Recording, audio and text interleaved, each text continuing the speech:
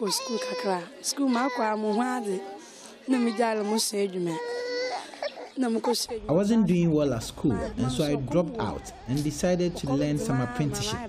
But hunger was killing me. Charlotte is a teenage mother in the Abura Asebu Kwamankese district. She tells a chilling tale of what put her in the situation she finds herself.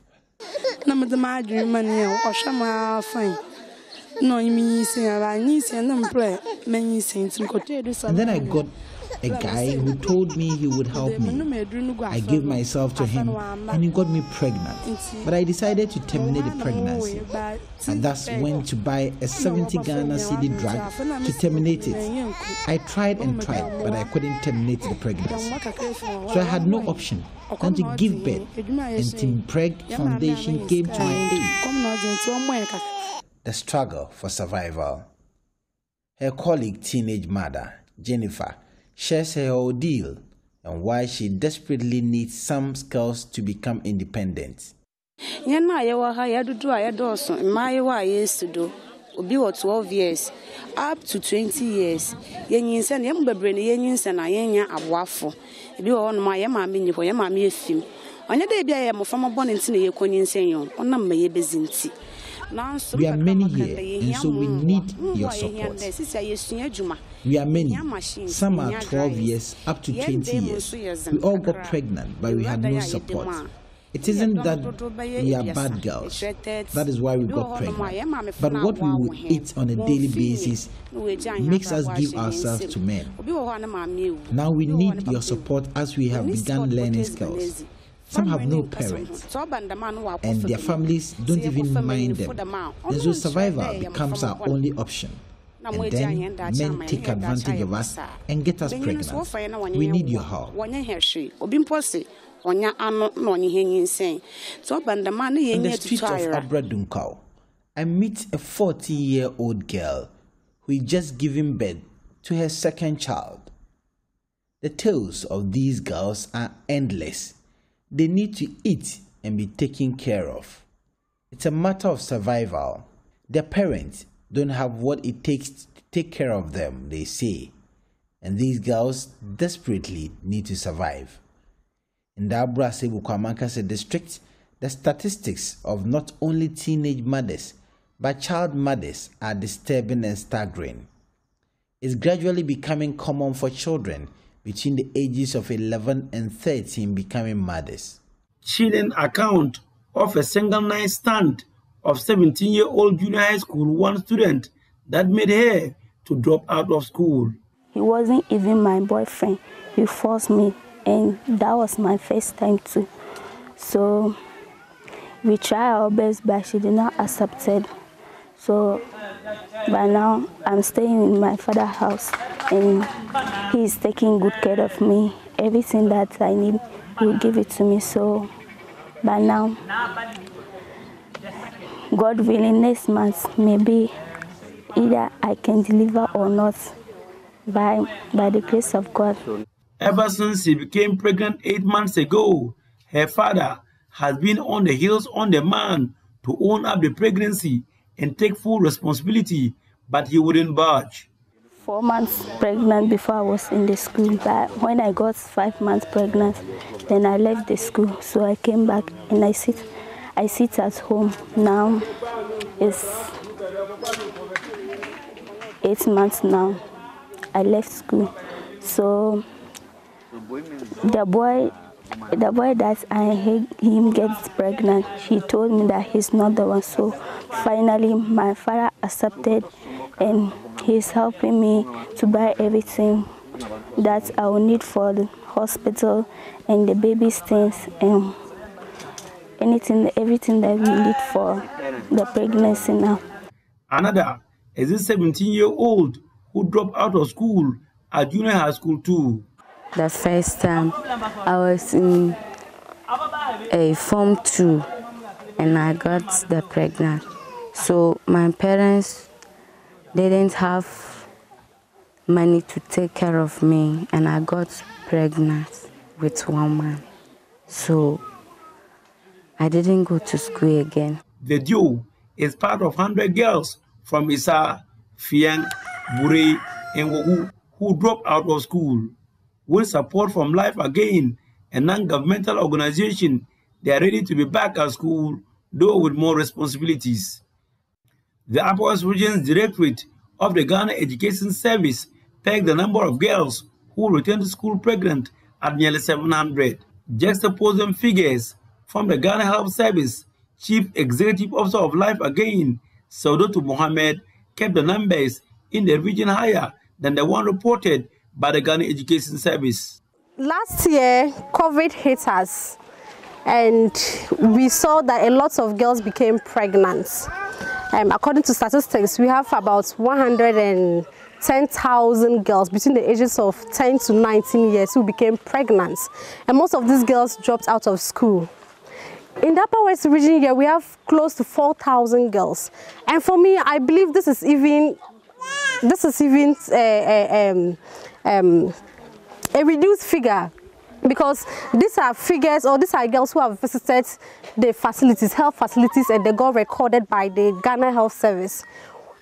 There are lots of girls in the rural areas who are pregnant or who have given birth within this period, but were, were not visiting the, uh, uh, um, the centers, so they were not recorded. Her outfit launched a campaign in March this year to support teen mothers with skills training to enable them generate income to take care of themselves and those who wish to go back to school. 100 teen mothers benefited from the program, 20 of whom are being supported to go back to school. We are all about ensuring that these girls are empowered. And also, we have a number of girls who say they want to go back to school even after giving birth. And we have, we are giving them scholarship, comprehensive scholarship to get back to school. And we have items, we're going to give them school materials to help them to get back to school and stay in school. So it's not a one-time support. Right. So what you are hearing it's not some fiction. It's real.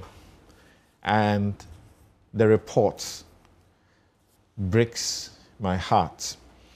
Uh, we are starting this discussion with the woman who is in charge of the DOVVSU. So, yesterday, you gave me a call. I had given you a call on Thursday when I had a very bad story and was looking for help that you could take charge of it so that there will be some prosecution.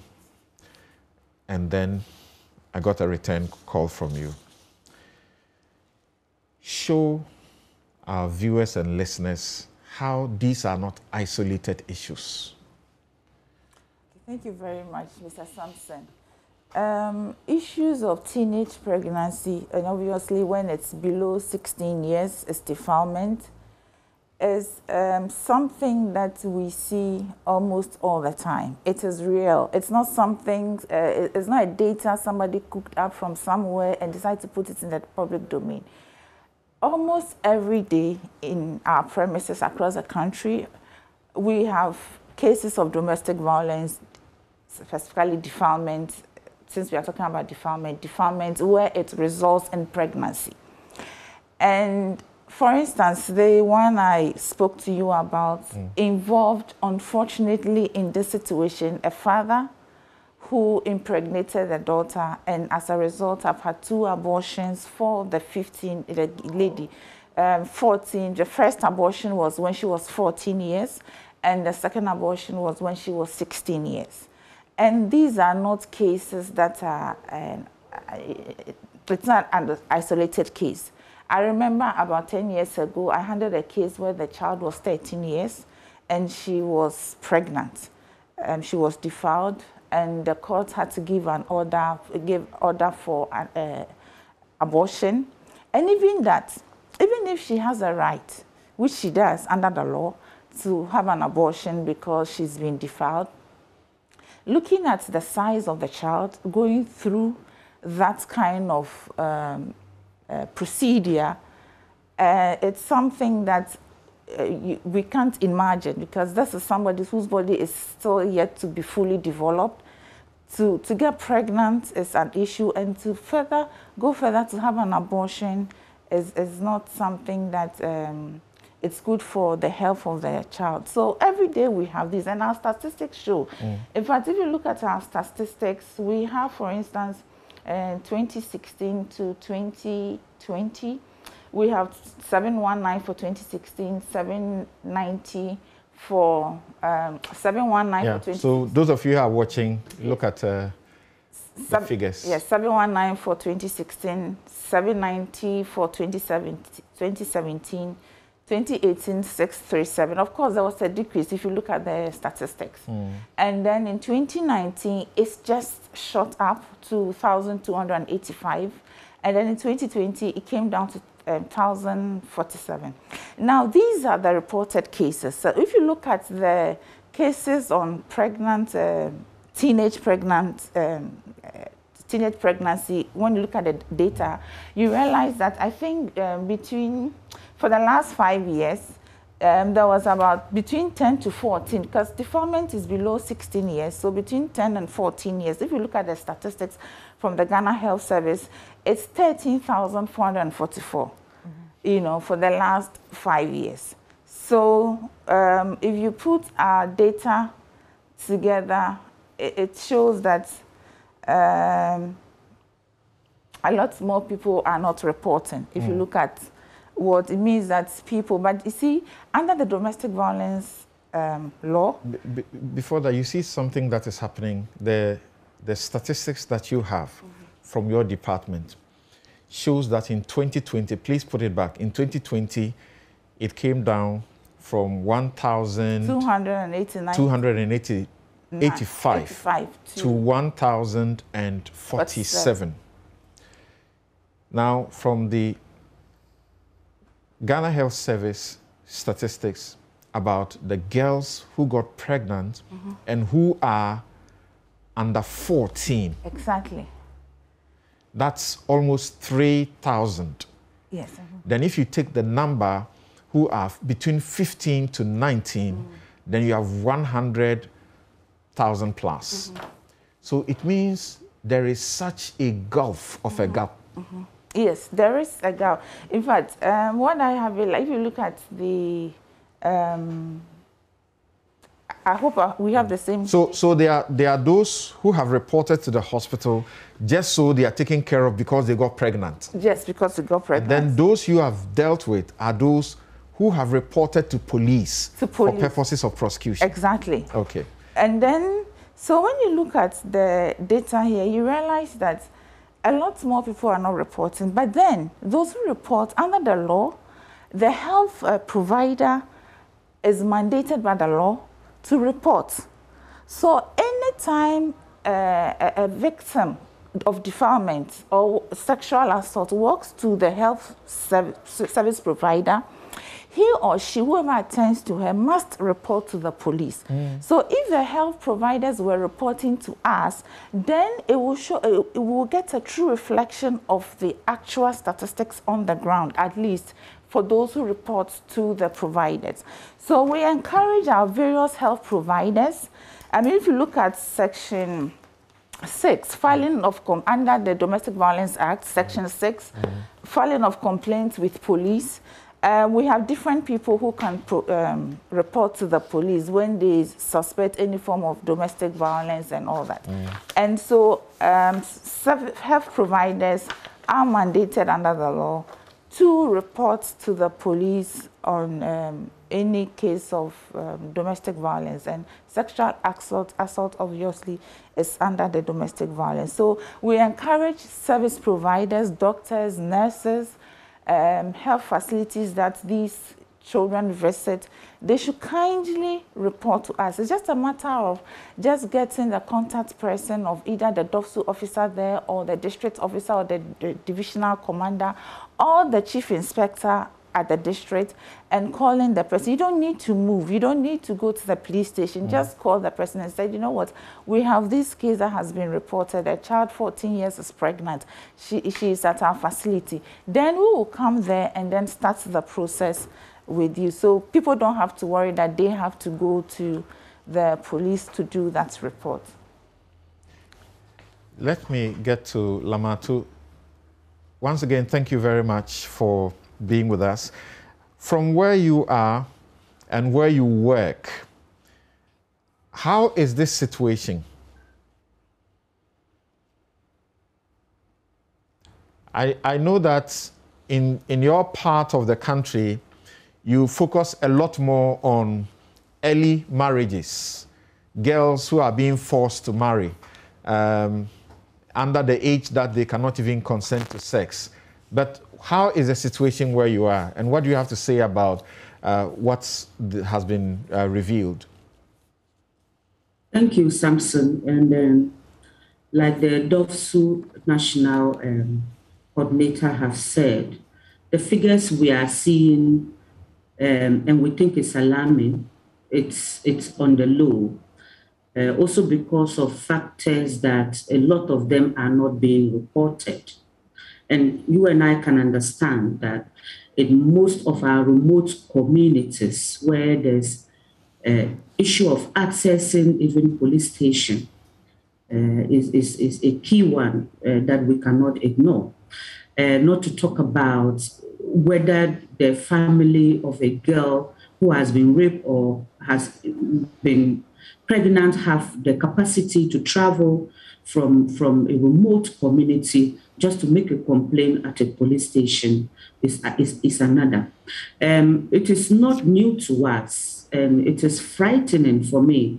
I think that we, we have a much bigger pandemic that is looming, you know, to us um, if we have as young as 10 years girls who are getting pregnant, uh, what does that tell us? That a child is giving birth to a child, and who then takes the responsibility of taking care of the two children? Hmm. Um, here in, in, in our northern part, a lot of factors we can say can contribute to this.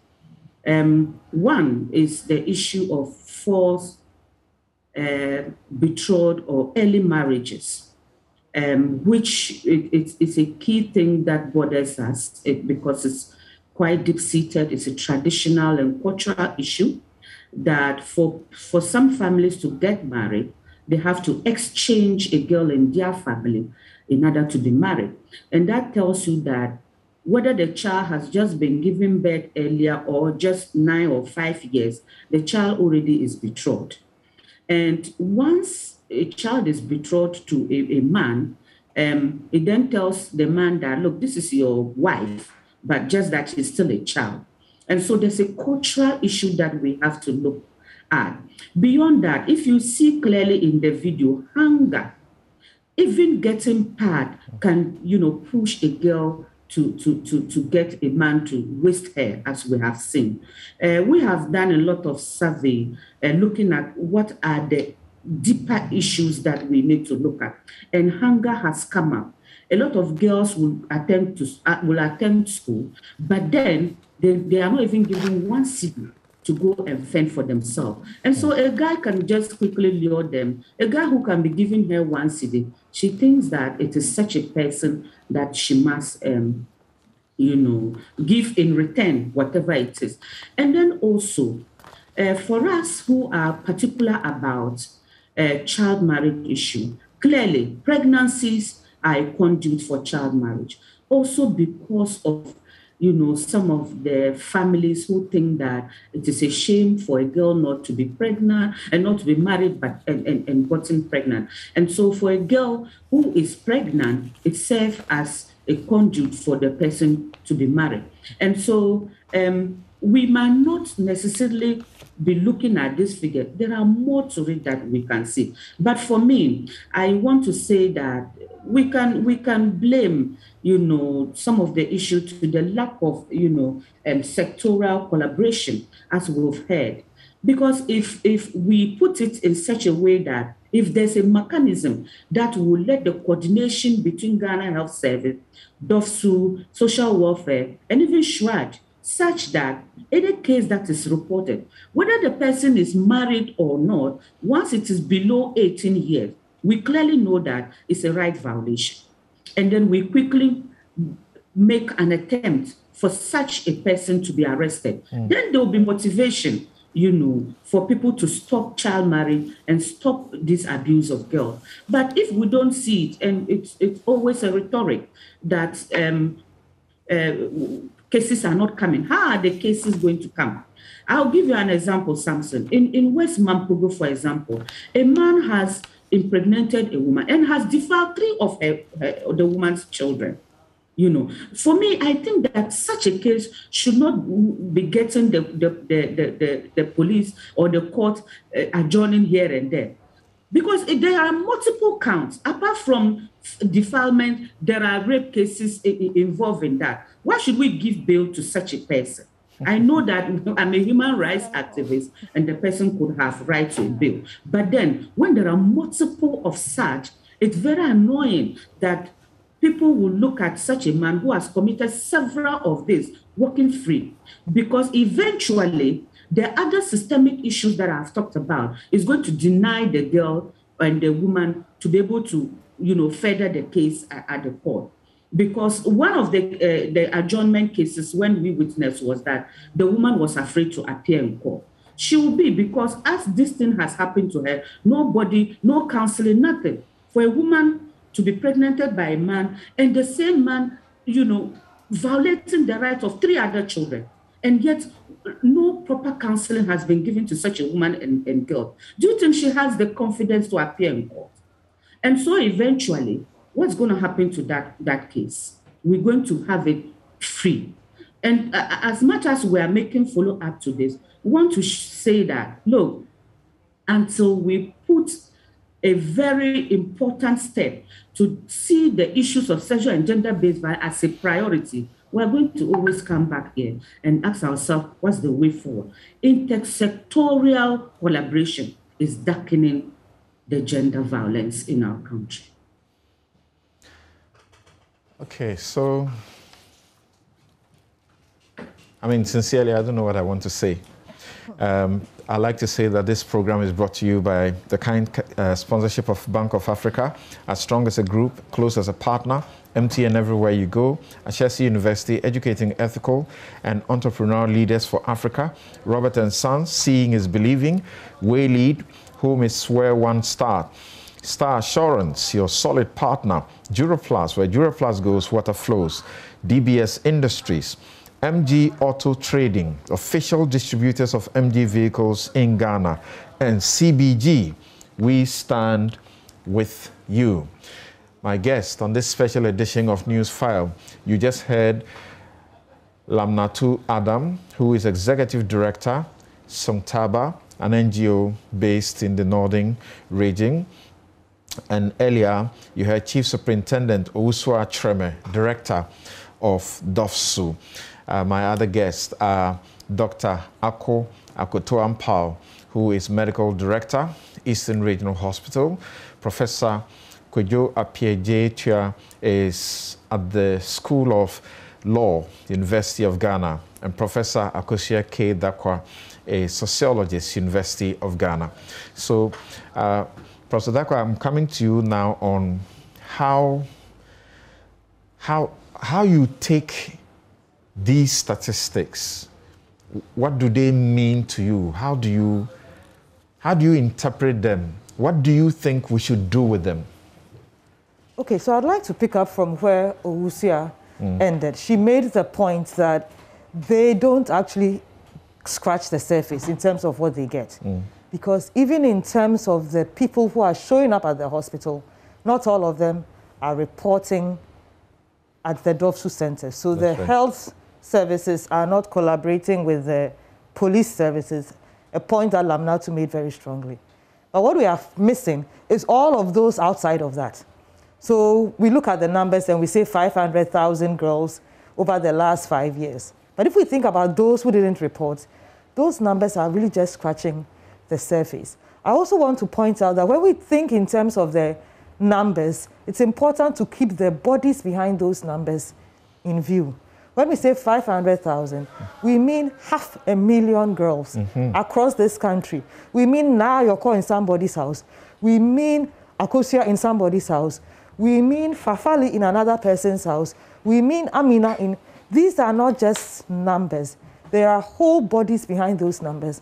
They are living in families. They go about their daily business. This is not just about the girls, it's about all of us. If a child gives birth to a child, she cannot raise that child right. She cannot raise herself right. All of us are the worse off for it. Because with each child, if they grow to their full potential, they benefit not just themselves, but the society as a whole. That 14 year old who is pregnant could have grown up to become the nano engineer of the future. All of us will benefit from it. But now she's trapped as a teen mother, unable to fulfill her full potential.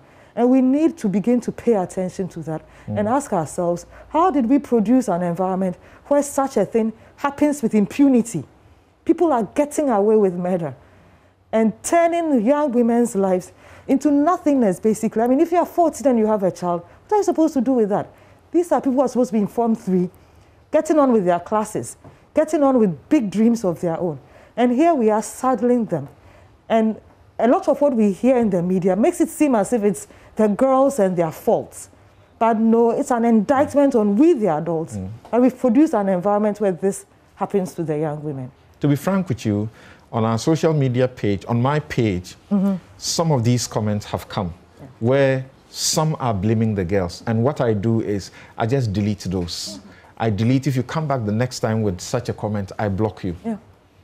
Why will our society want to blame the girl who is a minor, who needs guidance, and may have been taken advantage of or exploited by an adult who is supposed to provide care for her? So, the first thing we need to remember is that you are much more likely to actually be abused by somebody close to you. The likelihood that a complete stranger abuse these girls is not impossible, but it's rare. Mm the most likely people to be worried about are the people close to the girl. Older male cousins. We take this for granted. Mm. You are leaving home, you leave your 12 year old routinely with her 15 year old older cousin. Right? That's something we need to be paying attention to. Those who have drivers who are dropping children back and forth, that's something to be watching. The gardener, the quote unquote houseboy, mm. right? The boy in the neighborhood that the child knows, the teachers in their schools. That's where the problem is. And because we are unwilling to confront that reality, we are unwilling to start taking on our neighbors, our family members, and addressing the issues that produce the teenage pregnancy. We blame it on the young women. That's the easiest thing to do. Mm. But part of what we need to begin to do is have an honest conversation with ourselves as the adults in this country and ask ourselves how is it that we've gotten to this point where family honor is far more important than the girl's life and her ability to lead her life to the fullest. So the first thing a parent or a family member is thinking is, if we go to the police, everybody will know. So let's not go to the police, right? If we go to the courts, it will take a long time the family will give us 900 cedis. 900 cedis sounds like a lot of money. So you sacrifice the girl for the 900 cedis, right? We need to begin to put the girls at the center of this. We are in an environment where children are not, yes, we talk about, uh, this is a pro-natalist environment. Mm. Children are a blessing. But if a child is a blessing to you, it's a responsibility also. And we need to take it fully on as a responsibility and recognize that the children should be at the center of the discussions and not the adults. We don't do that often enough. Mm. And I think just to add to what Prof said, I think uh, children are also blamed because of our history, background, how human rights started. I mean, before then, uh, children were not subjects of human rights. They were seen more of objects of human rights. And as a result, a child was more not to be heard, but to be seen. And a child couldn't talk or ask questions about sex. Mm. Because growing up, should you talk about sex, I mean, you will be whipped and, and, and not even given food to eat. And so we have come far, we've carried this, even though Ghana, we've come far in terms of the rights for children, all that, people still believe in the fact that if there is sex, it should have been the child who went there. I mean, what did you go there to do? For instance, I remember in a, in a, in a, certain situation where a child was defiled, and the first question that came from the mouth of the adult person was, What did you go there to do? Does it really matter what the person went there to do? Mm. You know, the law is very clear, especially for children under 16 years. It just doesn't matter. Even if she said, have sex with me, it just doesn't matter because at that age, consent is void. Yeah. The child cannot give consent when she's below 16 years. So the issue of what did you go to do? Why must you do? Why did you go there? Why did you even wear this short skirt? Is, is a non-starter. And so we need to, we can move forward if we change our mindset. If we want to be transformed as a nation, so we, we transform we will how come, we think. We will come to the solutions and the bottlenecks, you know, the impediments. There are a lot of them. And people have sent a lot of messages which are questions. And some are telling me real situations and they are asking what sort of help they can get. Um, Professor uh, PJ, Etia, what, what, the question I ask uh, Professor Akosua Darkwah, what's what do you make of the statistics? How do you interpret them? What should we do with them as a nation? Well, the statistics are quite shocking, and it tells a story of the fact that um, we are the adults should look ourselves in the faces and accept a big blame for this. The same we're talking about um, the politics in the West African context where ECOWAS to be blamed. I think that it calls for interpreting the statistics as failure on the part of the adult population and also the institutions and systems and mechanisms we've put in place. If we just look at making laws, we would have made huge progress in seeking to address these problems. But law alone does not solve the problem. And so um, Akosua is there. She will talk about the fact that you have to uh, contextualize the discussion. We have laws on trokosi, we have laws on widowhood rights, and so on. But they have not been contextualized in the context of where the cultural understandings of that issue is coming from. And so we need to look at it from two angles. The, what um, the, the gender angle as well as from the theory of rights angle. The society has been constructed in such a way that women or even girls in this context are always to be blamed. And so the burden is that the woman is structured or constructed in a certain way. And so at the end of the day, she is seen as a victim when you look at the cultural underpinnings of discrimination against women, there are sometimes situations where people could not find solutions to some problems which may have a scientific basis for it. And women are blamed for it. Hmm. And because woman is seen uh, as the, the, the uh, responsible, they are not involved in the decision making or to find a solution to the problem. And if you are deemed as the culprit, certainly the laws or the processes that we put in place will work against you. At the same time, we also need to see how the man or the male has been constructed. The man has been constructed as aggressive, as somebody who's supposed to be the breadwinner. Mm-hmm. And it shows in the way these little girls have been defiled and impregnated because the man sees himself as the breadwinner, gives the lady, little girl one cedi. And he seems to have fulfilled a responsibility, and there has to be that um, uh, a favor returned. And the man is seen as the aggressor, and therefore, if he rapes the girl, is seen as normal. And so we need to make sure that we interpret the situations that these girls find themselves in from the angle where they are they, they are the victims and they need to be we need to reconfigure and reinterpret the whole gender relations in such a way that we are able to understand where the problem is coming from. And then um, Madam DOVVSU also talks about um, the fact that children are not seen or are not heard, they are only seen, and so on. And, and the fact that we need to look at the issue from the rights angle. Yes. For children, the, for a long time, the argument has been that children don't have rights. But the fact that we have a child rights convention, the fact that Ghana now has um, an act to protect children's rights, the fact that we have a juvenile uh, justice act, the fact that even the courts have set up um, some circuit courts identified as child-friendly, gender-related um, uh, court systems, it, it, indicates that we are no more living in the uh, past ages, but we are in an era and time where rights should be seen as interest-based for children. So that there are some rights which are fundamental or some interests which are so fundamental to them that it should place a duty on multiple stakeholders, the family or the, or the parents, the community, the uh, district assemblies, the police, uh, and many other actors, that they have these responsibilities they owe to the children, the school as well.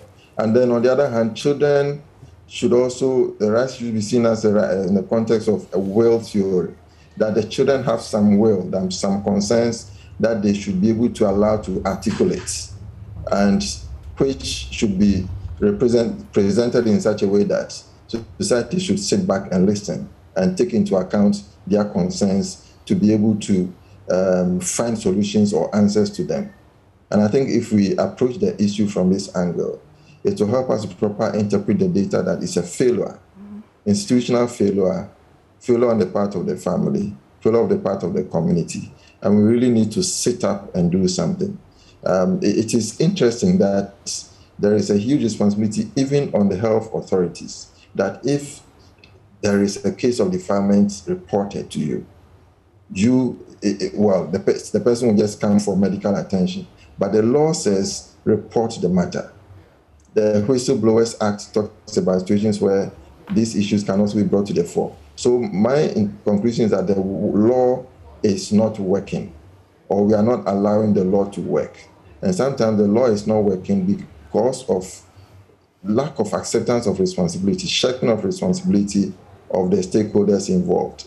And also, it's not working because the cultural circumstances have not been properly um, um, understood and made us to, to, be part of the whole mechanism of um, identifying the needs that the children should be placed at the, at the, at the top as critical needs of the children.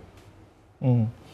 Um, on the question of the law is not working, I'll return to you on that uh, because uh, I have questions that have been sent in by an aspect of the law that we all may need to pay attention to. Um, questions of, you know, victims or survivors of domestic violence who need some medical attention and what the law says that they should get it for free and yet they have to pay. Um, let me bring in uh, Dr. Akoto Ampaw. Now, I, I know that, you know, there's a reason you joined the Coalition for Survivors of Domestic Violence. Because they identified you apart from the fact that this is the job you do, you, you, you do your practice, and you are also the regional chair of the Ghana Medical Association, the group identified you as one doctor who attends to abused persons in a way that the law requires. So you don't ask for money and all of these things. Now, the people that you attend to who are abused, I want you to look at that against the statistics that we are uh, discussing now. What does it tell you?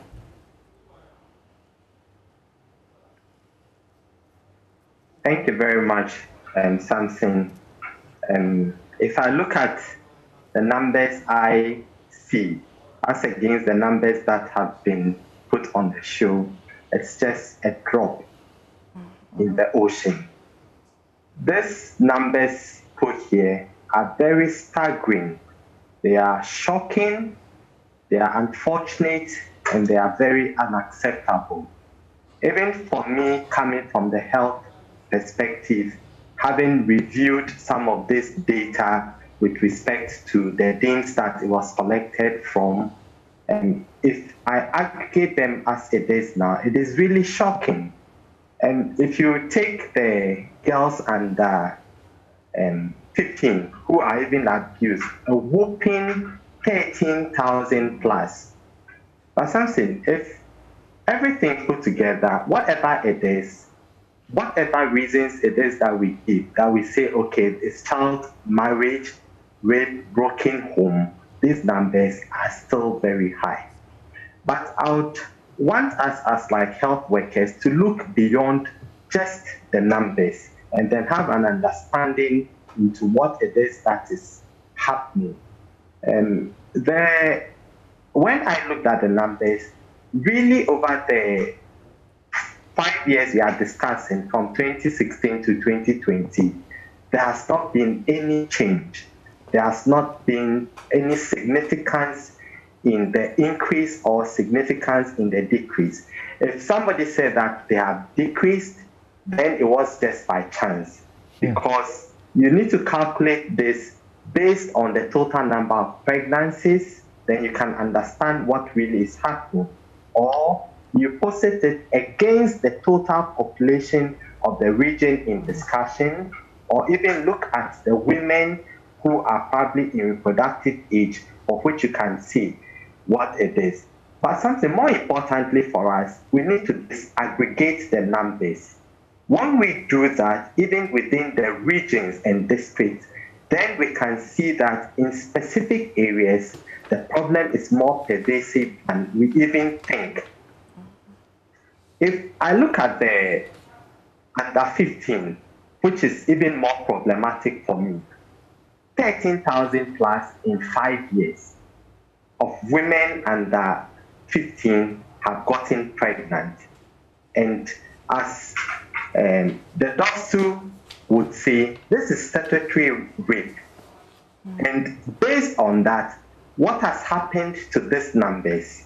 Would all agree that it's just a fraction of that which we are seeing. We are actually seeing the, the tip of the pyramid.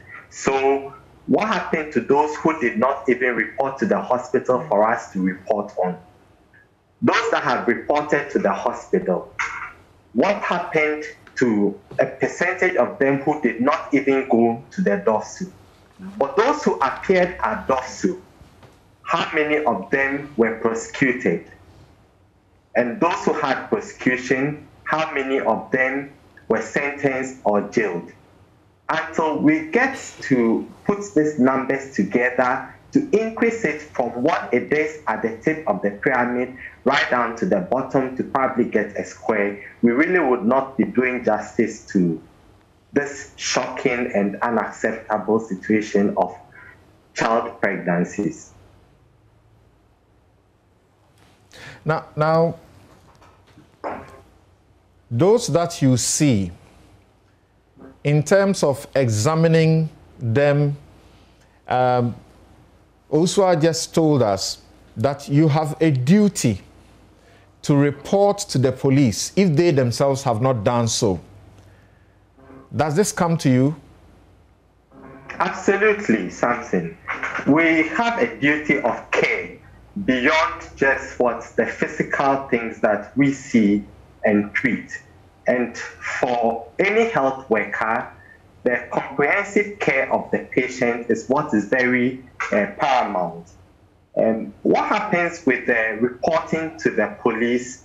It's unfortunate sometimes when you even make a report to the police, no action is immediately taken because culturally we have accepted some of those things. Uh, but should it be that it's um, an issue of an allegation of rape, that one they tend to even uh, begin to work around it. But if a mother has come with a child to the hospital and said the child is pregnant, just on the surface pregnant, how are you going to report that matter to the police? I didn't give an example of a report from hospital to the police, though it is um, not directly related to this. So this week past, we saw somebody at the hospital who could not pay fees. So from the social workers, it came to my attention that we need to waive the fees of the person. So in reading what it is that they are put together, apparently this person alleged that he tried, he was a Nigerian who had been camped by another Nigerian in Ghana, and they tried to escape from the person. Mm. So in escaping, they had to scale a wall, and then in jumping, he broke the ankle and was brought to the hospital, and we are treated. He didn't have any money to pay.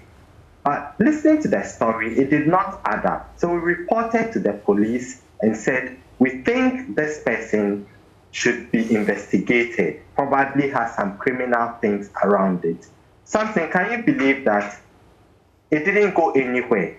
They referred us to um, another bureau of the police, and they say that he's an adult enough. If that is true, he should report that there's some kidnapping. And it really, I, I did not understand why it had to be so. So, driving the point home, sometimes it is the action that is taken following the report that makes it imperative that some health workers will not consider to pursue the agenda. Of course, obviously for me, I was going to write to the police again, maybe to a higher authority to look into that particular case for me, something. You're still here on Newsfile. A Newsfile is brought to you by the kind sponsorship of Bank of Africa, strong as a group and close as a partner. MTN everywhere you go. Ashesi University, educating ethical and entrepreneurial leaders for Africa. Robert and Son, seeing is believing. Waylead, home is where one starts. Star Assurance, your solid partner. Duraplast, where Duraplast goes, water flows. DBS Industries and MG Auto Trading, official distributors of MG vehicles in Ghana. CBG, we stand with you. Um, we will take a break here, and when we return, I have your questions, your contributions.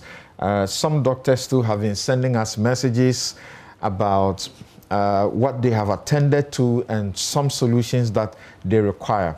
So we will try and examine the issues even a lot deeper and discuss the solutions. Do they exist? In the absence of the law uh, or in addition to the law, what else is done to uh, survivors of these uh, circumstances? We'll be right back.